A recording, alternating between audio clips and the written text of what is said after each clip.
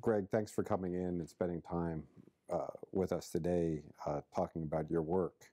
Uh, before we get there, though, I wanted to uh, take a minute to set that up by um, asking you a little bit about your own professional trajectory and uh, what you did before you came to uh, the UCI School of Education. Sure. Well, I started out at Michigan for 25 years, and there I worked at the um, Survey Research Center, um, working on and ultimately running the panel study of income dynamics. Uh, and then went to Northwestern into the School of Education there. It was a research appointment at uh, Michigan. Um, and I was there for 13 years. Uh, and then uh, I heard the sirens calling from UCI. Uh, Deborah Vandell was uh, just starting up a new PhD program.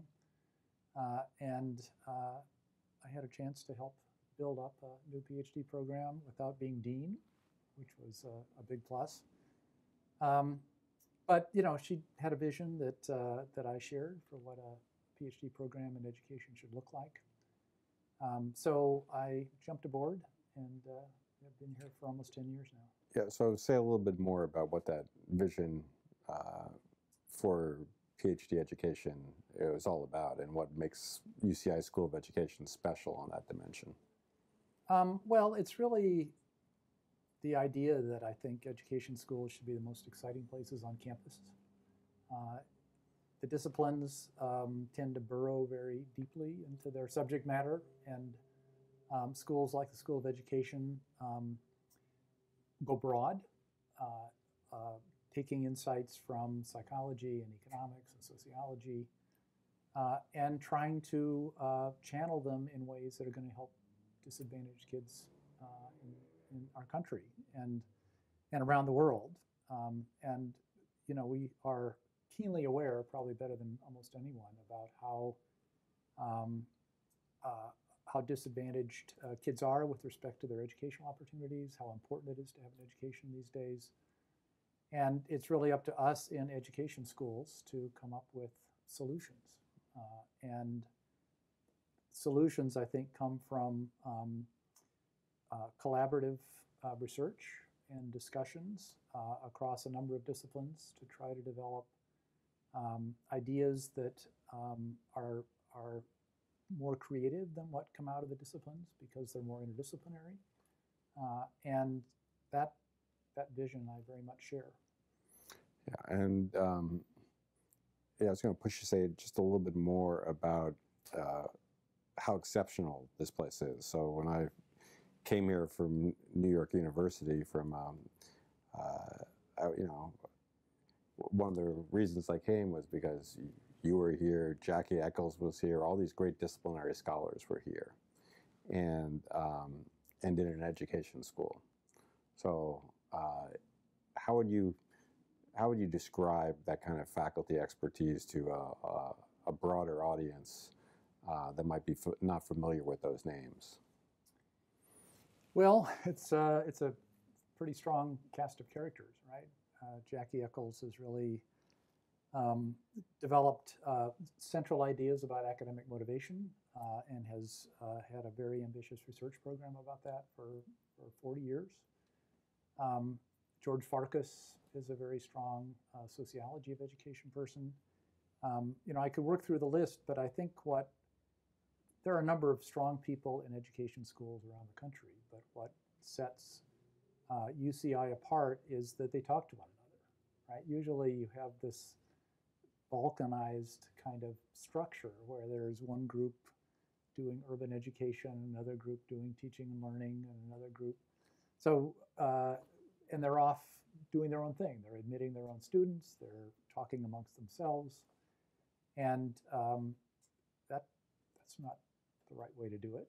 And the vision that Deborah had um, that we, I wholeheartedly support and we tried to um, enact and now we try to maintain is this idea that uh, there ought to be collaborations across uh, areas. There ought to be training opportunities across areas. We very much encourage graduate students to um, combine um, work in a number of different areas in the school.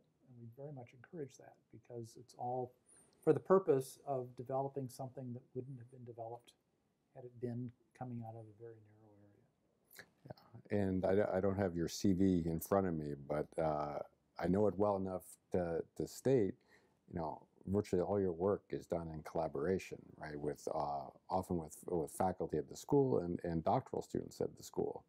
Um, can you speak a little bit about uh, why why that's important to you? These these kind of collaborations.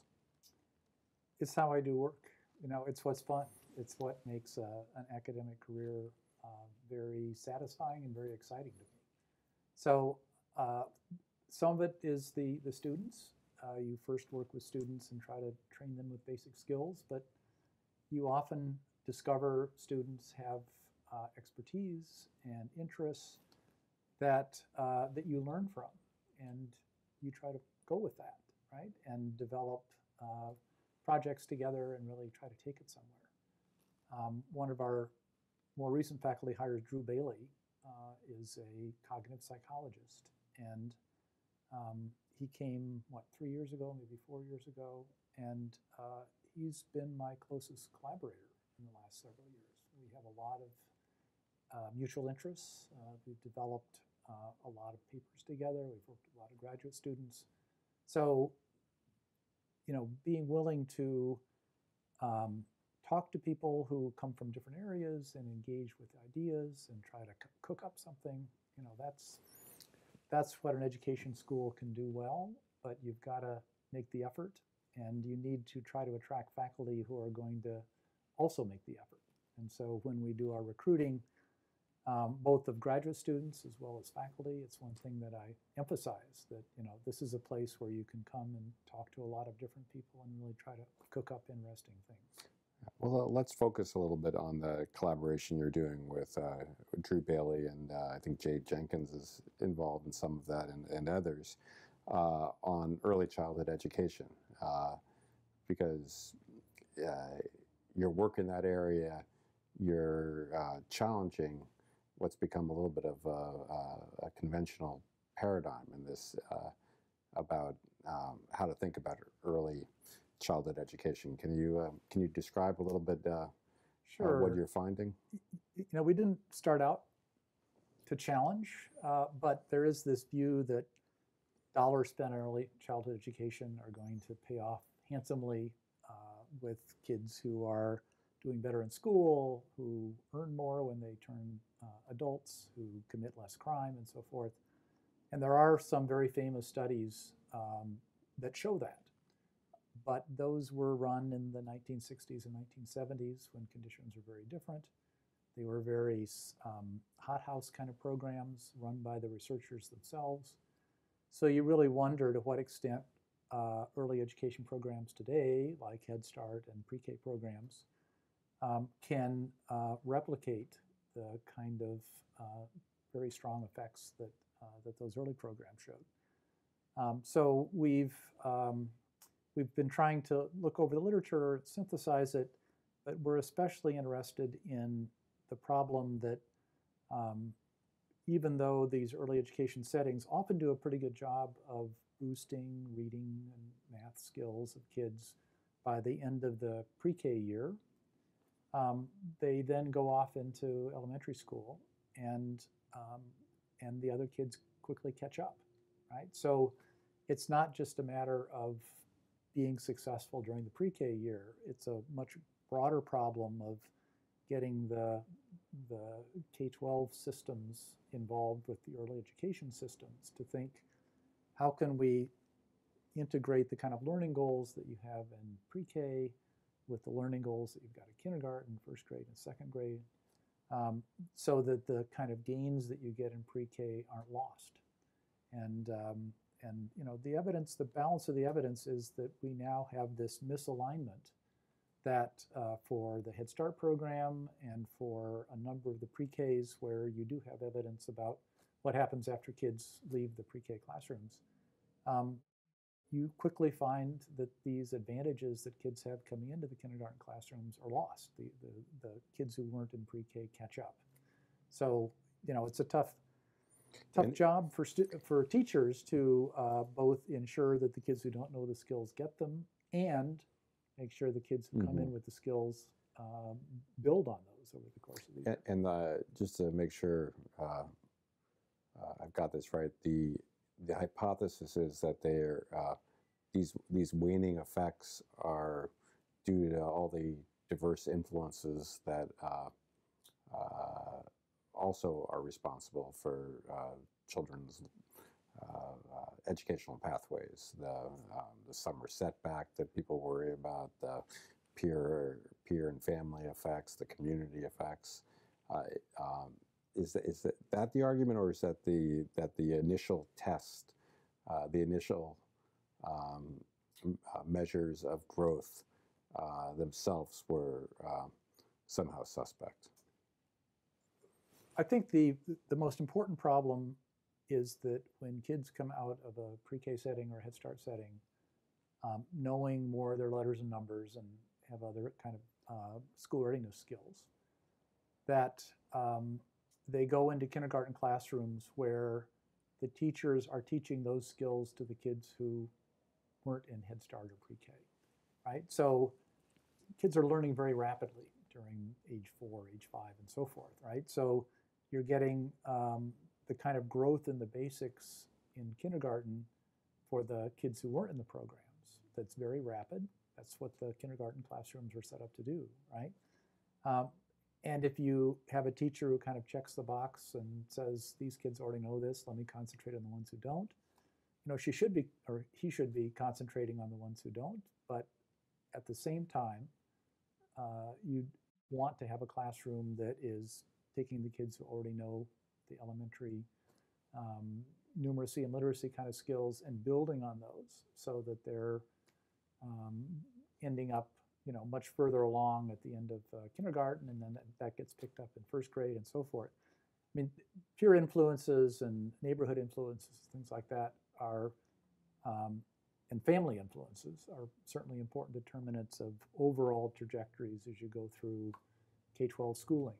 But this particular problem i think is more this mismatch between what's learned uh, in the year before kindergarten and what kindergarten classrooms are like And um, you know, I know those diverse sets of of influences is a topic that's uh, animated much of your career, uh, where you've you've thought deeply about childhood poverty as well as uh, inequality. Um, uh, and uh, one of the pieces of that work that I think is important to share out with a larger audience is this uh, work you you did recently with Russell Sage around um, the growing inequality in uh, early childhood access to uh, opportunities uh, as well as outcomes. Could you speak a little bit uh, about that? Sure. Um, Dick Murnane and I were the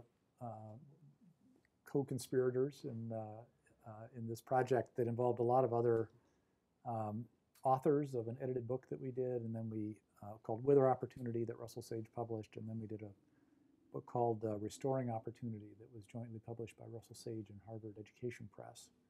Uh, and it was a very broad look um, over the last 40 years. Uh, we know that in- inequality has increased, income inequality has increased, and people had been focusing more on the kind of current generation impacts, but we were interested in to what extent growing inequality in the, the parent generation was being transmitted in terms of growing inequality uh, in the, the children who were growing up in those families and, uh, and going off on their own. And uh, one of the authors of, uh, uh, of a chapter in the Whither Opportunity book, Sean Reardon, put together this uh, amazing time series showing gaps between high and low income um, children in terms of test scores uh, over the last 50 years. And what you found was this uh, stark growth in the, the gap, earnings, uh, in the achievement gap that um, increased by about 50% between 1965 or so and, and the early 2000s. Um, and if you then look at gaps in uh, college completion, for example, you get a similar kind of story. You know, it's a story where uh, achievement levels of low-income kids are increasing. Um, college completion rates of low-income kids are increasing, but the achievement growth and uh, and college completion growth for higher-income kids is accelerating, right? So they're both making progress, but the progress at the top and the middle is much greater than the progress at the bottom, so that you have this growing gap. And, And- I, and I thought one of the most striking uh, figures was not just the, the, the growing gap in uh, K 12 achievement and also college going, but that the gap in after school supplementary enrichment opportunities. Uh, Right. So the, the question is, how does income translate? How does growing income inequality translate into growing achievement inequality? Right. Um, and the evidence is somewhat circumstantial there, but uh, one of the developments that is probably important is that at the time there's been growing income inequality, there's been growing uh, residential segregation by income. So in the 2000s relative to 1970, uh, poor kids are much more likely to be surrounded by poor kids. Uh, middle class or rich kids are more likely to be surrounded by people in their social strata. And given the kind of local system of schooling that we have in the United States, where kids tend to attend neighborhood schools, um, that is that translates into uh, schools increasingly concentrating either poor or affluent kids within the schools. Um, so that is part of the dynamic. Uh, but another part that we discovered that you referred to, if you simply look at the amount that uh, parents are spending out of their income on what you might think of as enrichment expenditures for their kids, things like childcare, lessons, summer camp, computers, vacations, those are you know, opportunities for kids to be exposed to the outside world. Um, in the early 70s, that gap in current dollars was about $3,800 being spent per child per year by the, the top 20%. 3,800 versus about 800. Uh, and if you roll forward to 10 years ago, that 800 had gone to about 1,300, you know, an increase in, uh, per child per year expenditures. But the, the 3,000 figure had gone up to 10,000, right? So higher income families now are spending $10,000 per child per year on these enrichment expenditures. Yeah, uh, David Grusky, uh, who was I was interacting with earlier this week, a sociologist from Stanford, calls these uh, opportunity markets, and that our educational system is in- increasingly driven by people's uh, abilities to essentially purchase uh, educational opportunities and advantages for their children. Right, and God bless them. You know, we, we want people to be spending money on behalf of their kids. But if you think about it in the broader context of, uh, of inequality and of trying to ensure equal access to opportunities for a good education and a middle class job and so forth, $10,000 per year is about what school districts spend on educating a child, right? So the higher income parents are matching $10,000 that the schools are spending on the kids with $10,000 that they're spending on the kids. Um, so if you actually look at these gaps that start quite large at kindergarten, um, they don't narrow after that. Um, you would hope that schools might be an equalizing agent in society, but um, when you've got higher income parents spending $10,000 per child per year, it's a kind of a strong current to be uh, rowing against. But for whatever reason, that gap starts large. You know, it's much bigger than it used to be, and it pretty much stays uh, large all the way through the end of high school. And uh, of course, that was the the rationale and logic for investing in these preschool programs, right? That Right. you have to get them earlier to close the gap. Uh, Heckman and others arguing Right. uh, there there'd be no no better, more important investment than that. You you've now conducted research that's skeptical of that. Well, it's it's saying there's a potential for that. There's not a guarantee of it, right? And we have to be uh, very mindful of understanding what the process is by which those investments early on produce payoffs uh, into the future. And that's that's the link I think that uh, that someone like Jim Heckman doesn't really pay much attention to, and I think I think that's everything.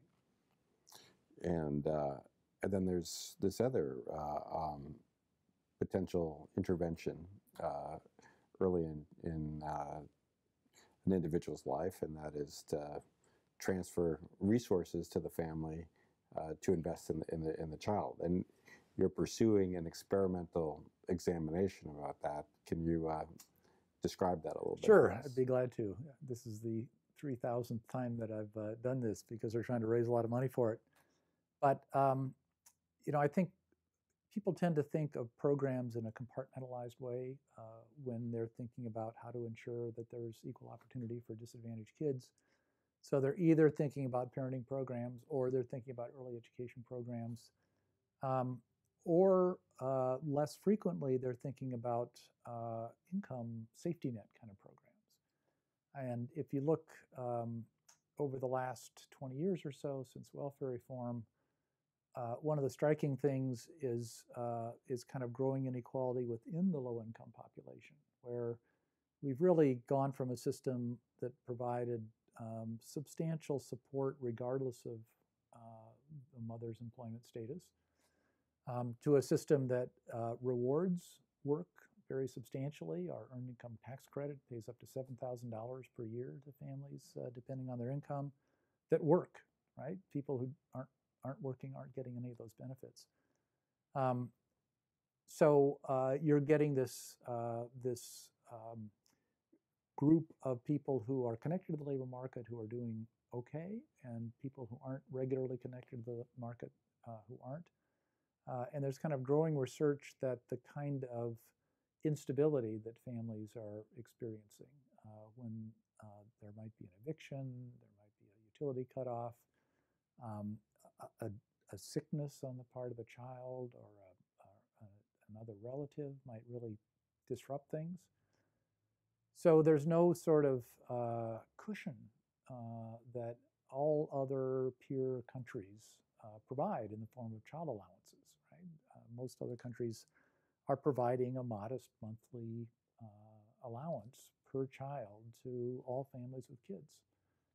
And even in those other countries, often the families, uh, multi generation, live uh, in close proximity, whereas in the U.S., often people are scattered widely, and so the extent to which that is can be a safety net for for right. uh, people in these uh, situations is also uh, probably relatively less than other countries. Right, right. It adds to the to the instability. Um, so, you know, the literature suggests that um, that child uh, outcomes, especially child achievement, uh, improves with more income. Uh, that income might indeed be the active ingredient. There are a lot of things that are associated with income that are probably important too, like family structure and things like that. But, um, but we wanted to try to test uh, whether in the very early years, when kids' brains are being wired up very rapidly and the family is all important relative to later when schools and neighborhoods and other influences matter, that infancy, toddlerhood, the, the first three years of life, um, would the provision of a steady monthly allowance, income supplement to families, um, produce uh, more stable family processes and better child outcomes. So we have finally raised the money that we need to launch uh, an experiment, a random assignment experiment, where we're recruiting uh, a thousand mothers uh, in four different sites around the country: New York and St. Paul and Omaha and New Orleans. Mm-hmm. Some of them with partners, some without. Uh, they, the only requirement is that they had to have an income below the official poverty line, which is about twenty-two thousand dollars for a family of three, in the calendar year before the birth. So we recruit them in the hospitals. They've just given birth, um, and uh, and then we administer a, a, baseline questionnaire, but then um, give them the opportunity to receive a gift. Uh, and it turns out that the gift will be randomly assigned to either be $20 a month for 40 months or $333 a month, right? So it's $4,000 a year versus $240 a year. And it's that contrast between those two groups um, that is really fueling the experiment. And we'll be following them for at least uh, 40 months, measuring uh, what is happening in the family, what they're spending the money on, uh, stress levels. Uh, we're going to be assessing the quality of the parent-child interactions. You know, you name it. Uh, if it might be something that might be affected by income, and in turn explain why the kids in the higher income families might end up uh, doing better. We're going to be measuring that. And when you say stress levels, uh, we're not talking about the old-fashioned. Uh, here's five questions on a survey. Uh, no, we're talking about the the newfangled saliva, which uh, provides uh, cortisol, which is a stress hormone, and uh, and if you set it up in the right kind of way, you can. and it turns out you can get cortis cortisol in hair. Uh, and it gives you kind of a time series of, uh, of stress levels over the last several months, provided the hair is long enough. Yeah, and if it and if you're really under stress, that method is is uh, yeah, inoperative. Then. Right, right, right. But um, but the focus is really on whether uh, kids will end up at 36 months uh, being different in terms of their cognitive development and behavioral development. So uh, at 36 months, uh, all the kids will come into labs uh, in these four sites.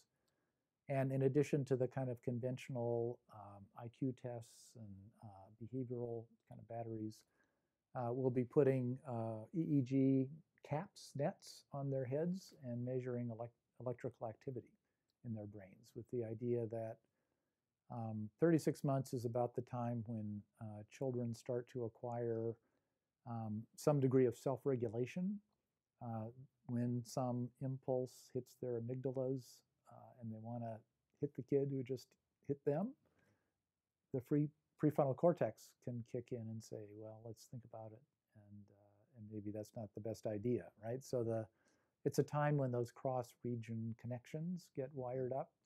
Uh, and supposedly, I'm not a neuroscientist, but we've got a terrific neuroscientist uh, in our group. Um, one may well be able to detect differences in the strength of those interregional kind of connections with this uh, with this EEG uh, methodology. Yeah, and the so the hypothesis there is that it's uh, those measures uh, will be uh, an indication of things like executive function, self-regulation, uh, more than say um, cognitive ability in in traditional academic uh, realms. Yeah, we'll be measuring both kinds of mm-hmm. things, measuring executive function behaviorally, but the idea is that uh, that brain structure changes may precede uh, behavioral changes. So uh, we want to be able to see if um, either or both will show up as differences between kids in this high income condition and kids in the lower income condition sufficient number of cases where you can also look for um, variation amongst uh, groups in, in the, the, treatment and control sample, right? To some extent. Uh, it's a thousand uh, moms, um, and you know, once you start slicing and dicing and getting into subgroups, um, you start to lose statistical power, mm-hmm. uh, and differences have to be really quite big. Mm-hmm. So we're we're really gearing uh, it up to uh, detect the main differences between the high and low income uh, kids, um, but to the extent possible, um, looking at different, um, uh, well, male female uh, differences and race ethnic differences. There are a set of things. We, you know, we pick the sites to um, to vary as much as possible along dimensions like uh, generosity of the safety net. Uh, so um, Louisiana has very low levels of benefits, and Nebraska not pretty low. You know, with New York and uh, Minnesota, you have much more generous. Cost of living is much higher in New York. So, you know, you could speculate that well, three thousand or four thousand dollars a year won't make that much difference in New York City because mm-hmm. it's so expensive. But you know, maybe um, it's also a place where the safety net's higher, and maybe that provides kind of the base upon which supplemental income really makes a difference. Or maybe it's uh, New Orleans, right, where benefits are very, very low. And the $4,000 that we pay is going to make uh, a much bigger difference in, in family income than it would in New York. Right. And there's also has to be variation in family dynamics about whether or not these supplementary resources are going to actually be targeted uh, as you would hope in uh, um, uh, creating more conducive um, settings for, for child rearing as opposed to being redirected to other. Right. Um, we don't condition uh, the income. Uh, we're not requiring that they uh, spend it on Yeah. on their kids. Um, And you're going to try to measure some of that, right? Yeah, that's right. That's right. We know what the expenditure categories are, but we also want this to be um, maximally um, informing policy debates at state government level, federal government level. We, we talk all the time about reducing these days or sometimes expanding benefits. And when you're providing more or less resources to families, people are worried about whether the moms are working more or less, but kids aren't in the discussion Mhm. right? So we really want debates about changes in resources um, to be informed by evidence about what are the implications for, for kids. So that's um, th- that hasn't been the case before because there really hasn't been experimental evidence. And you know, once you start a policy debate, you have different sides citing different evidence, and nothing's definitive. So we're really trying to be um, the first to produce definitive evidence here. And uh, you know, I know you're motivated uh, by improving policy, and and you're also on the uh, chairing this National Academy report. That's uh, uh, rare. It's because it's it's both congressionally mandated and bipartisan in uh, in a time where bipartisan approaches to, to policy uh, of this character uh, increasingly rare. Can you, can you talk about the the, uh, the charge of that committee? Right, and right. So the National Academy of Sciences um, is an independent body that uh, was established by Abraham Lincoln back in uh, 1863. Um, and its mission is really to, uh, to inform the nation uh, about key questions that it might have for scientists. And uh, many of the studies that come out of the National Academy come from Congress. And in this case, it was a, um, uh, a congressional mandate for the National Academy of Sciences to um, develop ideas for reducing child poverty in half in 10 years. It's the kind of goal that uh, Tony Blair and Gordon Brown uh, set up in uh, Great Britain back in the mid 90s. Uh, and they accomplished that goal. Um, we've never had that kind of goal. Uh, and we've got You programs. know, the, setting aside the war and poverty, right? Um, Yeah, but right. So right, that was eliminating poverty. Right. mhm. So that was right. You're reminding me of my uh, my uh, old age, right? Well, or you know, I, I'm married to an historian, as you Right, know, Greg. So right. I, I have to uh, make sure the record is straight there. yeah. Well, I, th- you know, I think Bob Bradley was the first president, or the last presidential candidate to actually have poverty Mhm. reduction as a goal. Yeah. Um, so uh, there's a group uh, in Congress that's trying to bring that back, focus attention on it. So the question is, um, if you look around to policies that we have, policies we could have, policies that peer countries have developed, um, bringing in the different kind of values that people have, should they be work-based? Um, what are some ideas, right, that uh, in combination would accomplish this 50% poverty reduction goal? So when an academy panel is set up, it usually runs for a year and a half or two years and um, has a number of meetings. Uh, we're kind of in the midst of that process now. We're hoping that our report will come out by September of this year. Um, and, uh, you know, it's a lot of fun too because Mhm. it's about 12 or 13 people usually on the committee. They're chosen to be very diverse. Um, and uh, they're required to um, sift through the evidence and come up with conclusions and recommendations that can all be rigorously supported by evidence. There's a very elaborate review process that these reports go through.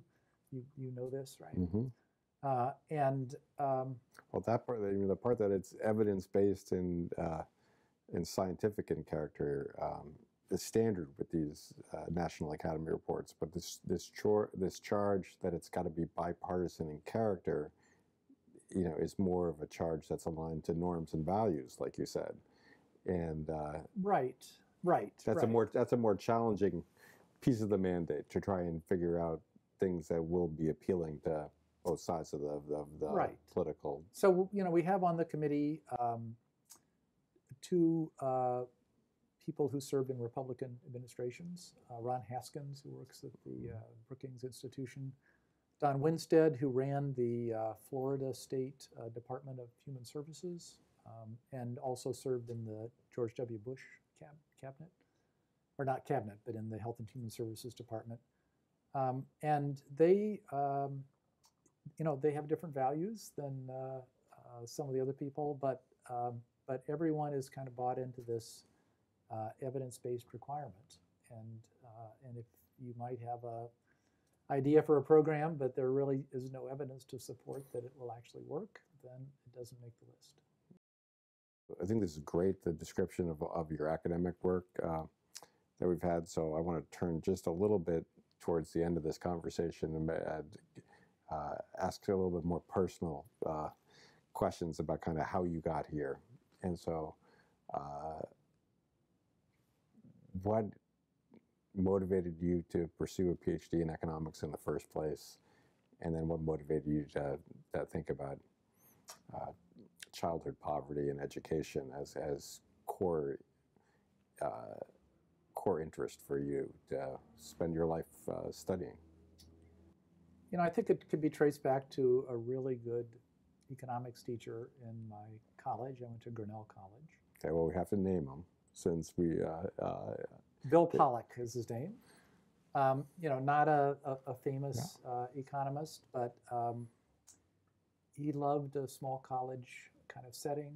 Uh, he was very uh, open to uh, interacting with students, and I just I enjoyed that immensely. And then I had an opportunity in my senior year to do a um, a year of research uh, as part of a field studies program in Costa Rica, uh, which was uh, involved working on an economics type project, um, marketing of basic agricultural products, and you know what I was learning in the classroom seemed to be uh, playing out when we were doing our research. Um, so economics seemed to be an interesting uh, area. I was going to be a theorist. That was my uh, that was my plan. Uh, and I went to the University of Michigan for my PhD. Um, you know, the theorist part lasted about a year, uh, but then I became interested in uh, the um, Institute for Social Research, and I started working there as a graduate student uh, on this big project that was focused on poverty. Um, so uh, that was in the midst of the war on poverty, the, the early 70s, and um, and we were sitting on and producing this trove of data that was following families year after year for they're still doing it uh, and it was just a unique set panel of study data. of income dynamics, uh, Right. one of the the great great social science resources uh, um, in the field today.